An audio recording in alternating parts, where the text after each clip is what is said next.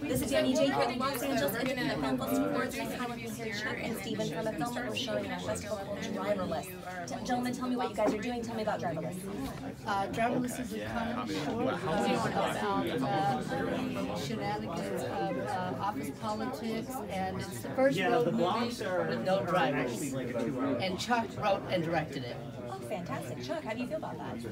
Uh, it's one of the most exciting things I've ever done because I've spent a lot of my life being in corporate environments uh, and I have a lot of feelings about driverless cars, so I had to put these two things together and sort of make a, a theme of uh, how the two can be similar. Uh, I don't want to spoil it, but that's kind of what the film's about. Well, without spoilers, and to an audience who hasn't seen your film, that, film yet, would you also give a little clue as to what your opinion about driverless cars are? Uh, the other day I was trying to navigate uh, on my cell phone uh, and, and it told me to drive into a parking lot.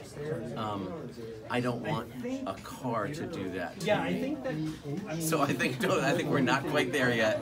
I would agree, and I think this is really something that's going to be super, super appropriate to bring the cultural front point that we have here. And then, Steve, tell me more about your role.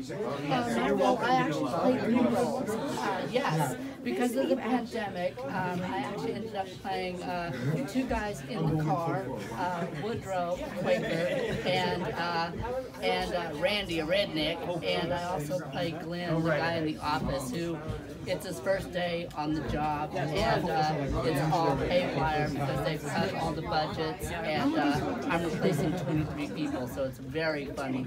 So not even one hat of three, but one hat of 23, as your character's role is. Absolutely, and that's what it was like uh, producing and acting in this movie. Is I just felt like I wore so many hats, but it's but it's all fun. It's, it's a great script and it's a great project, and that's what you live and die for in the arts. A hundred percent. Now tell me, how big is your cast and crew in all this? Our crew totaled um, 11, uh, and that includes our cast too.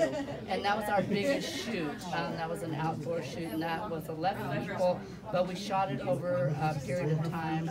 Uh, so it ranged from 8 to 11, but 11 being the most. It was tight and concise, and everyone worked their asses off. Sure. Well, congratulations on making something so so brief and actually so articulate with how many people you have on set come to life.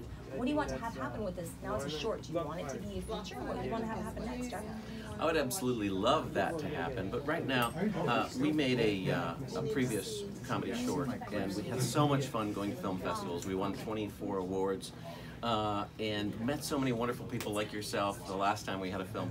So we just want to do that same thing with this film. Just go out there and see it a lot of see it at a lot of places, and uh, enjoy it. Excellent, excellent answer.